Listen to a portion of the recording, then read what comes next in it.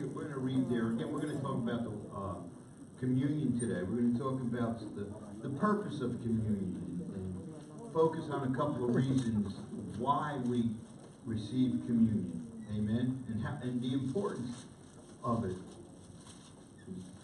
Now, this, this particular verse I'm gonna read right now is in all four gospels and in the book of First Corinthians. And it says in, uh, verse fifteen. Uh, we'll start in verse fourteen. He said, and when the hour had come, he sat down with the twelve apostles. Then he said to them, with fervent desire I have desired to eat this Passover with you before I suffer. For I say to you, I will no longer eat of it until it is finished, fulfilled in the kingdom of God. Then he took the cup and gave it to thanks and said, This take this is take this and divide it among yourselves. For I say to you, I will not drink of the fruit of the vine until the kingdom of God comes. And he took the bread, gave thanks, and broke it, and gave it to them, saying, This is my blood, body, which is given for you. Do this in remembrance of me.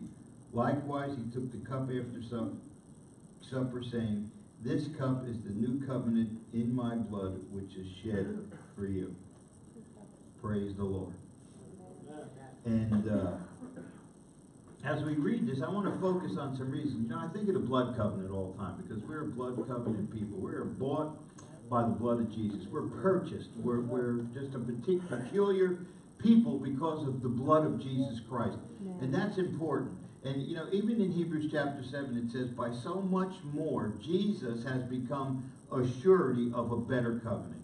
It's a better covenant. It's an extension of the Abrahamic covenant. And over in Hebrews chapter 8, verse 6, but now he has obtained a more excellent ministry, inasmuch as he is the mediator of a better covenant established on better promises. And that's what we have. And see what communion does. And we do it once a month. You could do it once a day. You could do it twice a day. You could do it every day, you know, once a week. We do it once a month. And I really believe that sometimes we lose sight of the importance of what we're doing here. It's not just, okay, man, it's July 1st, it's Sunday, we're going to rush through the sermon, and we're going to have communion at the end. La di da, everybody's going to be happy. No, no, no, But that's not the way it's going to, that's not the way it should be. All right? Because what communion does helps me remember something. Helps me remember Jesus' death, burial, and resurrection. All right? And the reason why he did it is because people forget. People forget. We forget the price that Jesus paid. Right. You know, salvation is free. Amen. But it cost God a lot. Yes. Okay? And, and even in our own life, and in the natural, we have several days of the year to help us remember things. We have Memorial Day. We have Flag Day, right?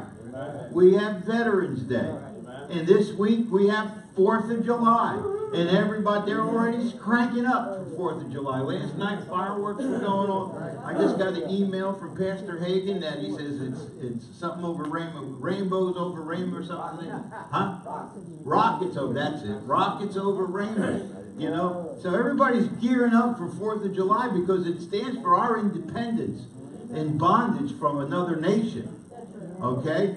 But we forget. The people in the Old Testament forgot what God had, did, had done for them. So he gave them feasts and he gave them memorials. He, had, we have the seven feasts. The most important one of those seven feasts to, to them was the Passover because that represented their deliverance. But even with all those feasts, they still forgot and did dumb things. We don't do dumb things though, right?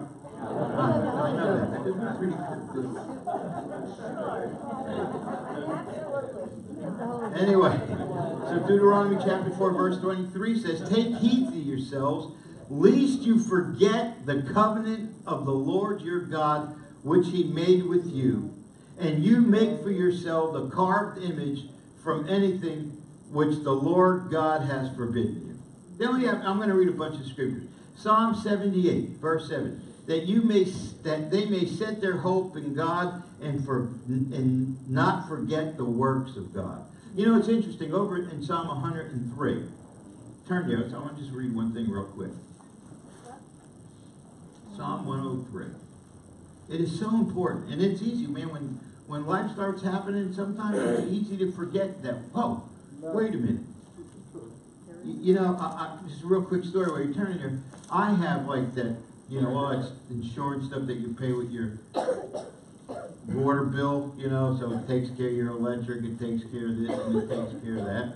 And and I just get everything, except they won't do my heater because it's uh, they're not doing them combo units yet. But anyway, so I, but I got everything, you know, from the water main in my house, my electric, you name it, I got it. Air conditioning, air conditioning.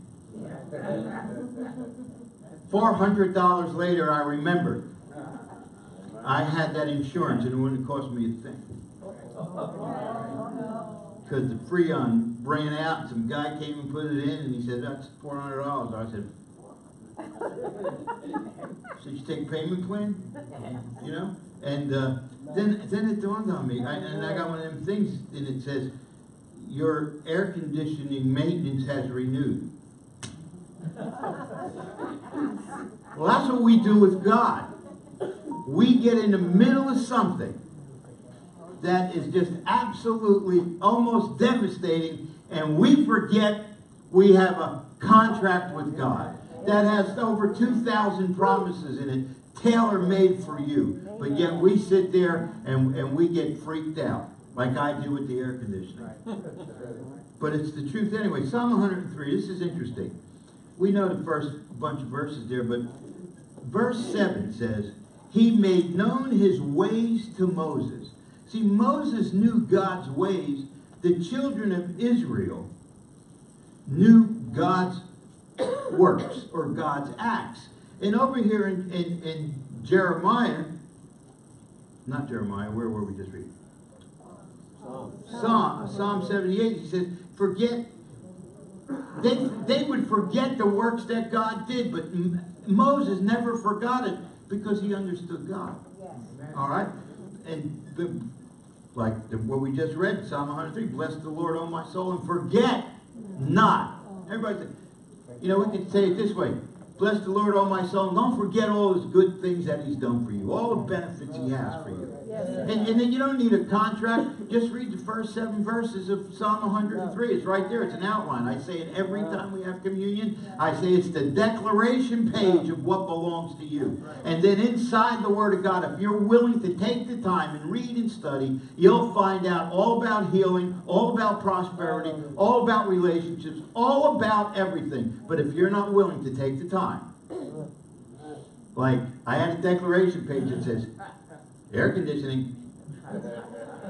But I didn't take the time to go look inside it to see Pastor Ray. I don't know where he is. He's playing hooky. Anyway, he he he broke a windshield on one of his cars, but he had a hundred fifty dollar, two hundred dollar deductible.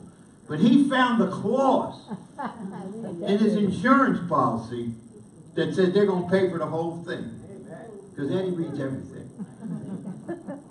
He just reads it all. He said, damn man, don't go there and pay the 150 bucks if you break your windshield.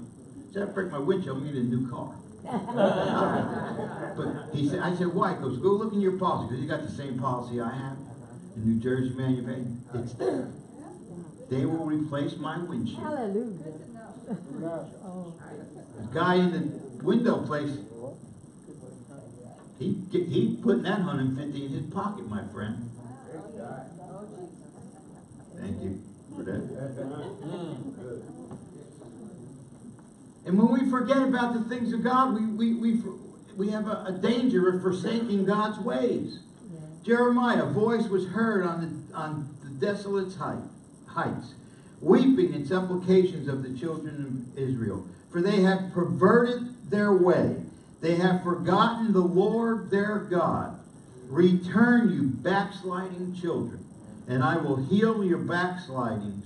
And indeed, we do come to you, for you are the Lord our God. So it's important. Now, you believe, I believe in prosperity, okay? But we, there's another one. Prosperity is great. God wants to bless you more than you could ever imagine. But there's a danger when into your prosperity that you have a tendency to forget God. Okay?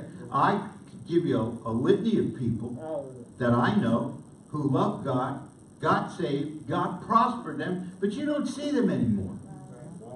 And they're not, it's not that they're not coming to church here, they're not going to church anywhere because their prosperity has them so bound that they forgot the one who gave it to them. Deuteronomy chapter 8, verse 12 through 14 says, Least when you eat and are full and have built beautiful homes and dwell in them. See, God wants you to have beautiful houses and He wants you to dwell in them. And when your herds and your flocks multiply, and your silver and your gold are multiplied, and all that you have is multiplied, when your heart is lifted up, and you forget the Lord your God, who brought you out of the land of Egypt from the house of bondage. Because God is the one who gives you the ability to get wealth. And he does it for one reason and one reason only. So he could establish his covenant in the. Trials that we go through could lead us to forget God. I was just talking about that. You know? I mean, you can get caught in the middle of everything and just forget I'm in covenant with God. And, and, the one feast that God gave all the Israelites was the feast of Passover. He gave them six other ones too, you know. Uh, and so what happens, there's this danger we can forget about God's goodness, His grace, and His power. And, and, and you know what? It's all about His goodness. It's all about His, his grace, and it's all about His power. And that's all available to each and every one of us. Amen. Amen. Hallelujah. So He gave us communion to remind us of the price he paid to cleanse us from our sin. Isaiah chapter 53. You know, and these are verses you've probably heard before, but you know what? I have to be like the apostle and say, just keep in remembrance of these things. Amen. But he was wounded for, verse 5, he was wounded for our transgressions. He was bruised for our iniquities. The chastisement of our peace was upon him, and by his stripes we are healed. First Peter chapter 3, for Christ also suffered once for sins, the just for the unjust, that he might bring us to God, and being put to death in the flesh, but made alive by the Spirit. Amen. All right? The bread reminds us of his broken body. You know, I don't know how much time. I, if, if, could you play those videos just without any sound? I don't know. Last night, before they played, last night, it's just two minutes, about six or seven minutes long, the whole thing. But when I was studying last night, I looked up the Passion of the Christ. Because the definition I have of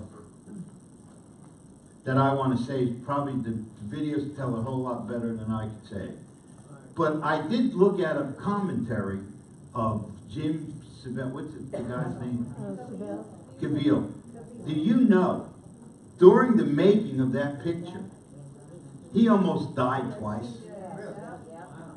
The doctor says, get him off the cross, he's going to have a heart attack. And you know what he said?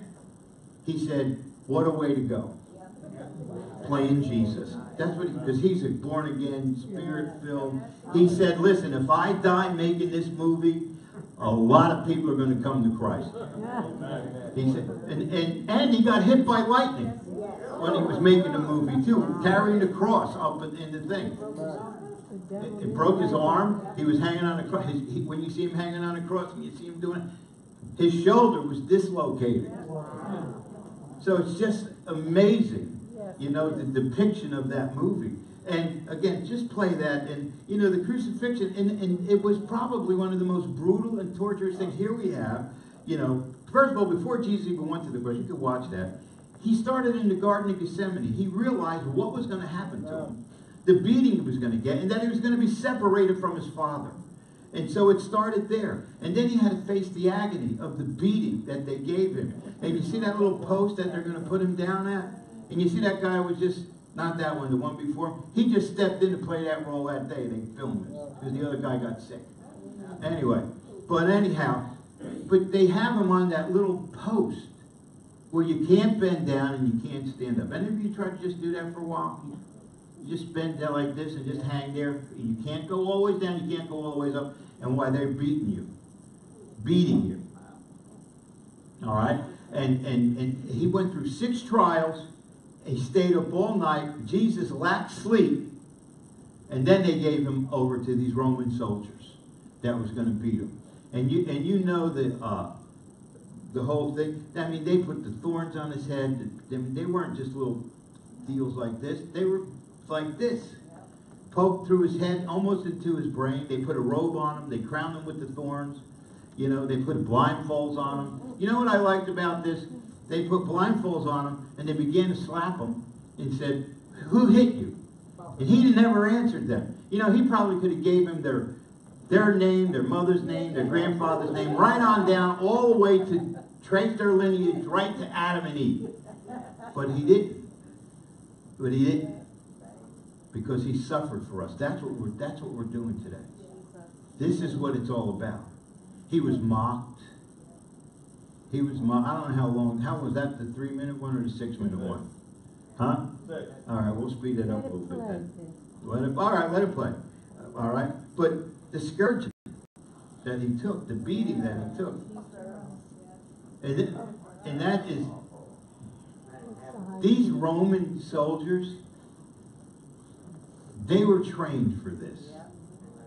I'm going to give you a little scenario that happened Saturday. There was supposed to be this big beach party up at Jenkinson's. And uh, you know what happened in Seaside a couple of weeks ago, the riots that took place on the beach and all that. Well, they plan to do the same thing up at, up at Point Pleasant Beach. Uh, unfortunately for them, everybody got wind of it. So when you came up there Saturday, there was Point Pleasant Police, Seaside Heights Police, Brick Township Police Department, the Ocean County Sheriff's Department, and the State Police Tactical Force. All over the beach. I mean, they were on their quads, the state troopers and everything. And uh, I said that because they were up, up on, not on the roof, but up on the balcony, and they had those sniper telescopes, Right. and they were panning the beach with it. And so they were the tactical people. And they said, those guys love that. That's what they're trained for, but they never get to do it. Right. So even though there wasn't an incident that happened, they were loving it. They, were just like, these Roman soldiers, that's what they were trained for. And they loved it. So, and by the way, nothing happened that day anyhow. That was good, praise the Lord.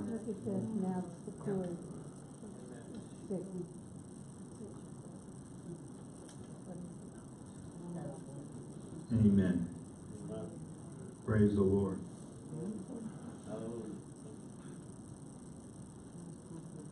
I, I just want you to get a real good view of that, man.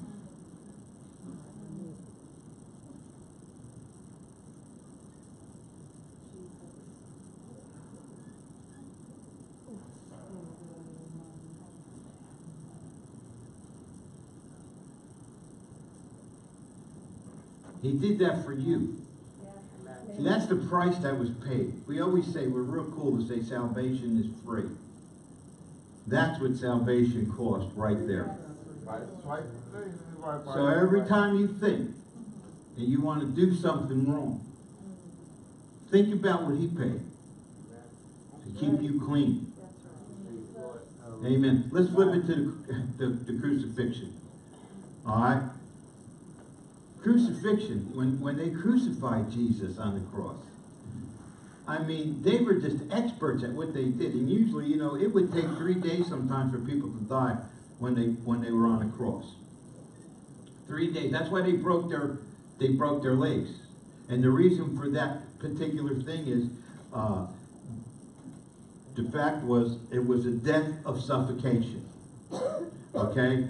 If you, you hung that way for a period of time, your muscles in your chest cavity start to uh, become paralyzed and you can't breathe. So you start to, because you're just hanging. And people say, well, they were really nice. They put that little footrest there for Jesus. That they put that there on purpose so he would suffer longer. It wasn't a little comfy deal for him, like a little pillow to put his feet on. I hear people, guys preach this. I think, are you idiots? That was there because they knew that the pressure would cause him to suffocate, and the only thing he could do is lift himself up so he could take in air. But when he's lifting himself up, the nails are through his feet. So the pain again would paralyze him. And then he let it down. So death on the cross was an up and down movement. So when you hear somebody say they gave Jesus a little foot pillow, pick up a rock and hit him. Because that was designed specifically to make death take longer. Can you say amen? Amen. Let's, fit, let's put it to when he's on the cross. Just can we? Just, but it was the, the most humiliating thing that uh, anyone could go through. And so that's why they bent the knees. They put the the minute and the minute they put the nail here. How many of you ever had a numbness in your arm? Well, figure that times a hundred.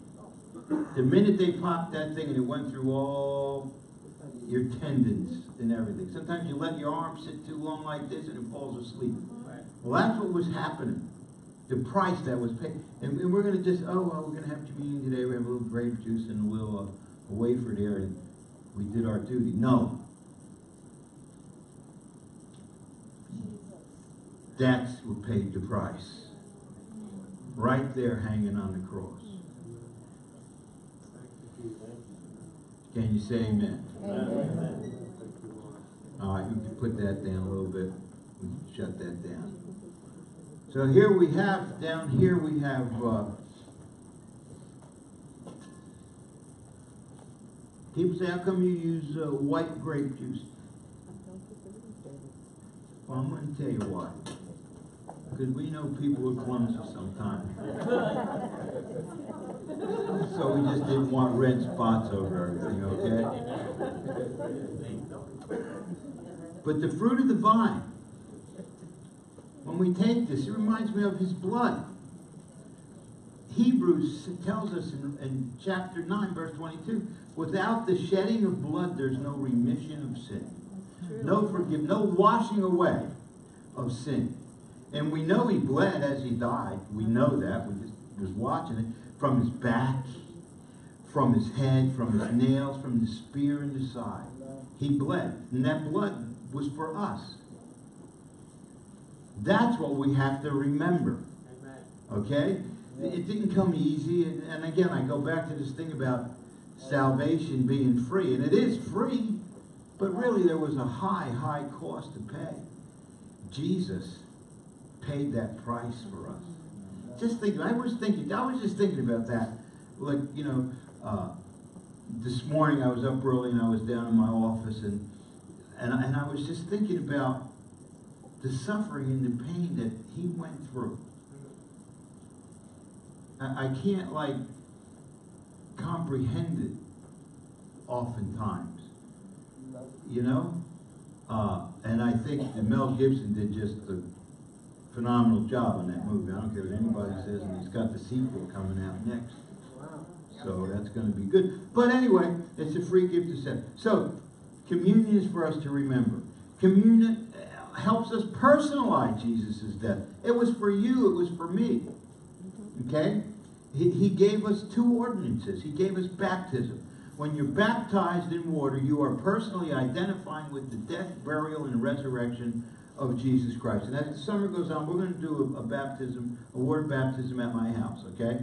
So if anybody wants to be water baptized in the next couple of weeks, we'll put a sheet out there, okay, about water baptism. But as you go under the water, what people don't understand about water baptism, when you go under the water, you're identifying with Jesus' burial and his death. It's a picture of his death. As you start to connect, Jesus died. As, as, and then when you're under the water, it's his, it's a type of his burial. But then when you come up, it's a type of the resurrection, and you're resur- and what you're doing is you're it's a public identification with Jesus Christ, personal and republican. We don't think too much about that. Because for Christians, when somebody gets water baptized, it's a big deal. But back when John the Baptist was baptizing people, and after Jesus arose from the dead and they baptized people, they were making a statement. Right. Just like that woman with the alabaster box and, and the, the people who burned their books.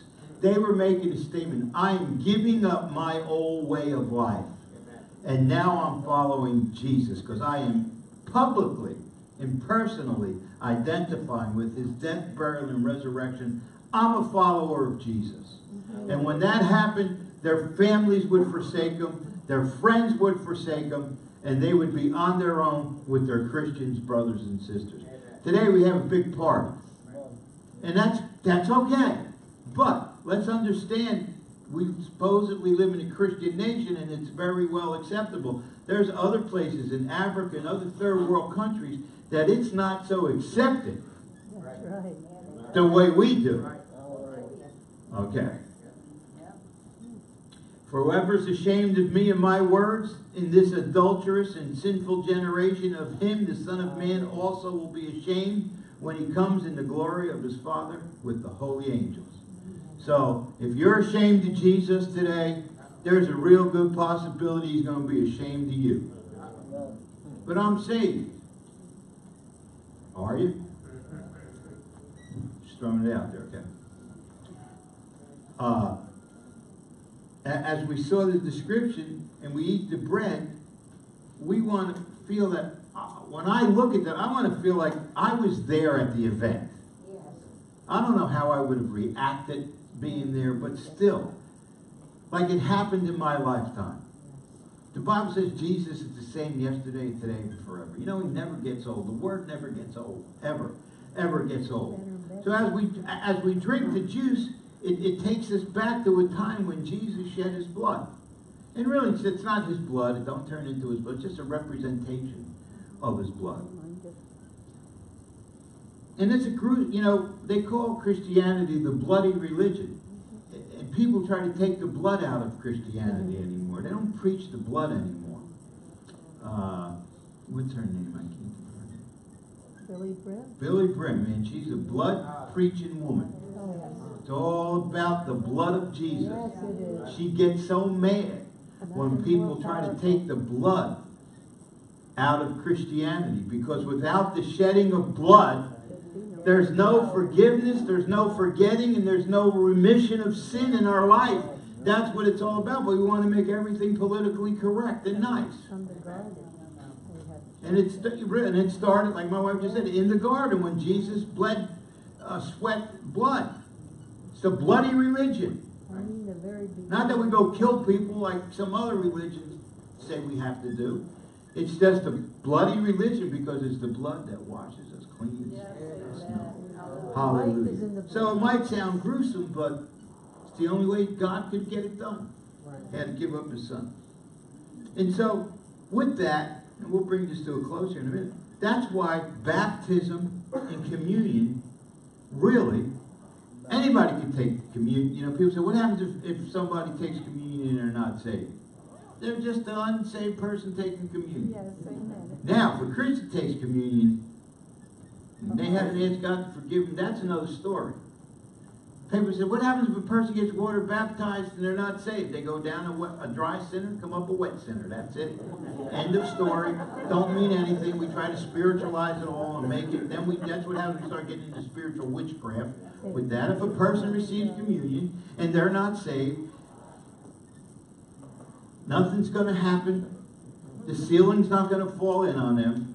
But boy, if I was a believer and I was harboring something in my house, my heart, you better make sure I'm make sure I'm right before I receive the Lord's Supper. Because there's specific instruction that Paul gives the believers that says, don't drink it unworthily. Okay? Not discerning the Lord's body. Right. All right, so those things we have to understand. And he says it here, you know, it helps us uh, apply Christ this to our life.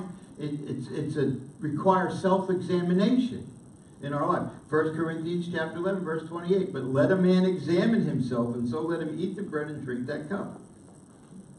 We don't take it lightly, Should. okay?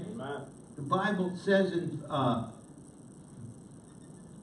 1 Corinthians chapter 6, verse 19 and 20, Or do you not know that your body is a temple of the Holy Spirit? Everybody say temple of the Holy Spirit. You know what a temple is? Yes. It's something you, you put that holds something precious. Amen. Okay? Isn't like your little army ammo box in your garage that all your nuts and bolts are in and you need three people to pick it up. That's not, it's all rusted. How many got, how many? A few people got that, right? They're just, I got one home, just full of junk, rusted and everything else like that. But when you need something son of a gun, It's in there. it's in there. You gotta dump the whole thing out on the floor, then you gotta get a broom and sweep up all the old rust and throw it out and put all the rust and take it back in there. That's not a temple, it's a junk box. Some of us, our temple has become a junk box. Because we got it filled up with everything. But yet it says, don't you know your body is a temple of the Holy Spirit, who is in you, whom you have from God, and you are not your own. For you were bought at a price. Therefore, therefore glorify God in your body and in your spirit, which belongs to God. Your body don't belong to you. Amen. Oh, that's good. Amen. That's like That's a good. revelation knowledge right there. Amen. I think if we realized that this body don't belong to us, it belongs to God, there were some stupid things we probably would have done in our life. That's true. And Some stupid things you're doing now, you, sh- you'll stop. Okay? Amen. By becoming a believer, by believing in the cross, you give Jesus a right to run your life. Amen. Oh, God. I thought this was going to be fun.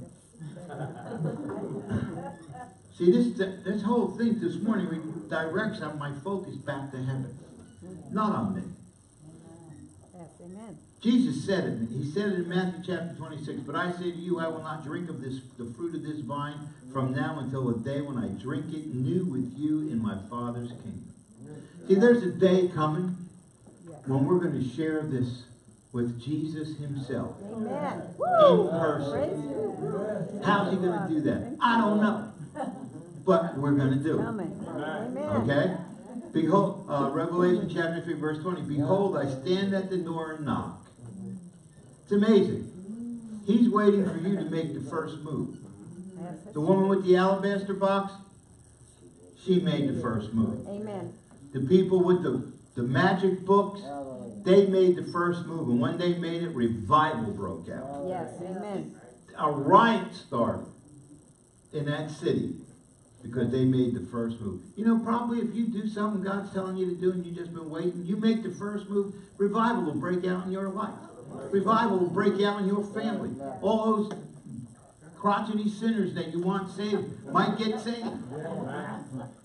But you're the one that's got to part with something, do something. Yes. Amen. Okay? Yeah. Amen. Amen. So, how many people in here know Jesus as their personal Lord and Savior? In other words, if you were to die right now, you know you're going to heaven. I know you're going to heaven, brother. I know. If you don't know you're going to heaven, you need to go to heaven. You need to know for sure. You know? Amen. Amen. I used to tell a friend of mine passed away, went home to be with the Lord years ago, my buddy Phil. He used to say, Hell It's not a- ain't no weekend in the Poconos. He looked you right. He was a big guy too. He Phil. He looked you right in the face said, "He'd look at you, man. He'd be he talk he talked to a telephone pole, a telephone pole about Jesus. I mean, it didn't matter.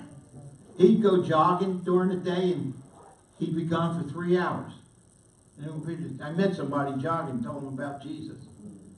That's the way he was, and you know, and he was like your typical Nicky Nortrick type of guy. He was a barber, you know, like he just he sold every Cutco knives, you name it. He just sold everything.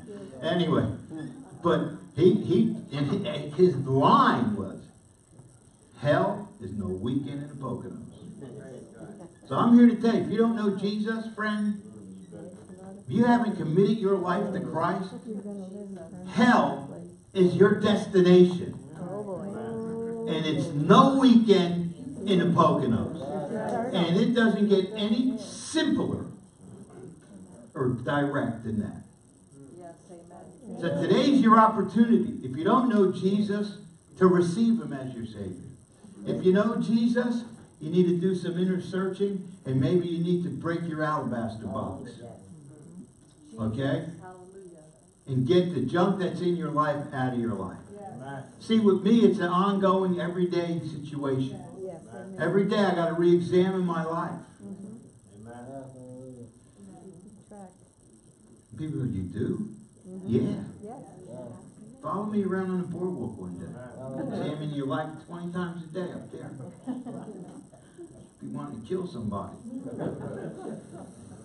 But I, you know they call me up there now? They call me the buffer. Oh, yeah. Oh, yeah. Yeah, so hopefully they're watching. Anyway, the buffer. Because like we got people who rule with an iron fist. And then we have me. Because after the iron fist comes down and the sand flies everywhere and people are ready to go home and quit, they send a buffer in, me, to calm everybody down. Be honest with you, sometimes I'd like to send them home. But you know what? It is what it is, man. You know, got a business to run. But uh, so God gave me a little thing to do with like a couple of guys right underneath me. I text them a couple times a day when I'm not there.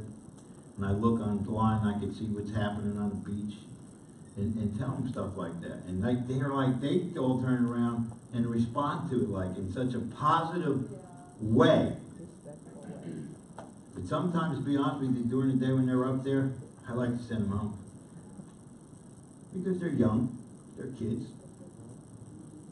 They're a whole different generation, is what they are. I said that because we, we, we uh, examine ourselves all the time. All the time. To make sure we're doing right. And there's nothing wrong with that. So as we get ready for communion, I want us to examine ourselves. God, you want to start passing out the communion elements? God, you can come on up here. And I do want to ask, if you're here today,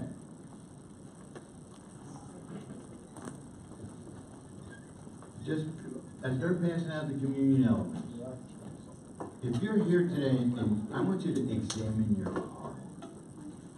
If you haven't received Jesus, this is your opportunity. And before we receive communion, I'm going to ask that question. And all you have to do is acknowledge the fact that I want Jesus in my life. It's that simple. And then we'll have communion. And then we'll have somebody pray with you also.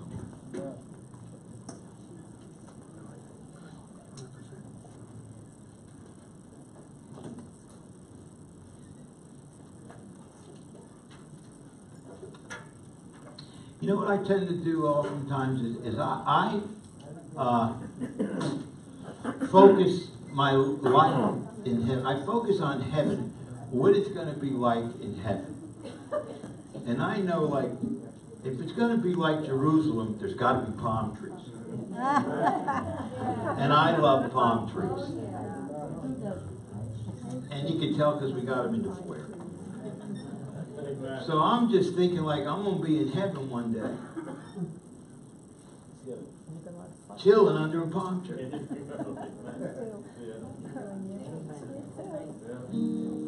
When I go on vacation and I sit in a lounge here under a palm tree, I said, this is heaven. This is what heaven's going to be like. Oh, probably better, though. Oh. But you know what I mean. It's like, that's my image of heaven. But we have to focus on life in heaven. Amen. Because life on earth is tough. Thank God we have heaven to look forward to. Thank God we have Jesus. Thank God we have Jesus in our life. Thank you, Lord. Yes, he is. Think of what your life in heaven is going to be like and bring that down to today's. How it would affect your life if you could live that way now here on earth, because you can. Because the Bible says the love of God is shed abroad in your heart by the Holy Spirit. So we can live that life. Unfortunately, we go through life with a bunch of turkeys. And when we go through life with a bunch of turkeys, it's sometimes hard to soar like an eagle. Okay? But still, we could try. Yes, amen. We're not perfect. We're going to lose it, but thank God. God made all of it. He knew it. I mean, Adam and Eve blew it, and they didn't have any sin. Think about that one for a while. Right, yeah, They were pure from the head, top of their head to the soles of their feet, yet they blew it. So you think that God doesn't know along the line we're going to blow it? But He turned around and gave us the provision. First John chapter 1, verse 9. To- we confess our sins, He's faithful and just to cleanse us from all unrighteousness and restore us back together. So don't get bummed out if you miss it. I mean, get bummed out just a little bit, but don't dwell. You know? It's like I used to tell workers long ago, coming on an honorary customer, don't get honorary with them. Get in the car, drive a half a mile down the street, get out and kick the fender. And I wasn't a Christian back then, but I just, just I didn't know about walking in love. I said, just don't, just leave. Just say, okay, no problem, we'll take care of it. Adios. You know, then you go down the street, get a stick, hit the tire. I don't care what you do, but we don't want to lose a customer. And that's the way we should think. We don't want to offend people. We don't want to lose people. Can you say amen? Amen. Hallelujah. Okay. We all have our communion this morning. Amen. Praise the Lord. All right, before we receive communion, I just want to ask this question, let's have every head bowed and every eye closed. If you're here and you've never asked Jesus into your heart, you go, Pastor, what's that all about? You know what? You know in your heart what's there and what shouldn't be there. You know if you're right with God. You know if you're saved. You, you don't, I don't have to get up here and preach a sermon about it. You know, if you're searching, you know. And all you have to do is raise your hand and say, Lord, come into my heart and live and let the Holy Ghost start to change me. Amen. Woo. Forgive me of my sins. Forgive me of my past. And help me change. And he'll do that. That's, people make like this. So if you're here and you want, you want to receive Jesus before we have communion, just lift your hand up real quick. We'll pray. Amen? All right. If you don't remember, hell is no weekend in the Poconos. I'm serious when I say that. Amen. Actually, hell's going to be closer to anything when you walk out this door after church, because that's how hot it's going to be. Uh, Just so you know. No comparison. No comparison. All right, you ready? Everybody ready? I'm going to read from 1 Corinthians chapter 11. And I always read this one because Jesus in the four Gospels has the, the story about breaking the bread, but Paul gets this from that by direct revelation from Jesus himself. And he says here, For I received from the Lord. He received it from Jesus himself. That which I also delivered to you, that the Lord Jesus, on the same night in which he was betrayed, took bread.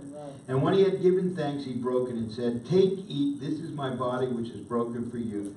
Do this in remembrance of me. We're going to do that in a second. In the same manner, he also took the cup after supper, saying, This cup is the new covenant in my blood. This do as often as you drink it in remembrance of me. For as often as you eat this bread and drink this cup, you proclaim the Lord's the, proclaim the Lord's death till he comes. I just want to read another verse.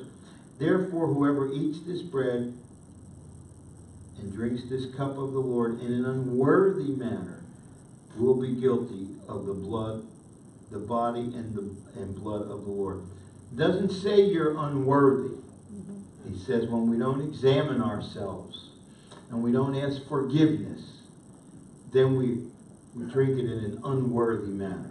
And that's the point I was talking about before. If a person is not saved and they have it, nothing going on. But if you're saved and you have something in here, you got to let it go. Just ask the Lord to forgive you. That's why we take that time to examine ourselves. Father God, we praise you and we thank you this morning. Father God, I thank you for the for the body that which was broken for us, Lord. Although not a bone was broken in his body, it was beaten for us, Father God. That we might have healing in our lives. And Lord, we just praise you for it. We thank you for it. Lord, we don't look at it lightly anymore. We look at the image of Jesus being beaten uh, in, in that movie clip, Father God, and what happened to him that day was ten times as bad. And Father, we just receive this in Jesus' name. Amen.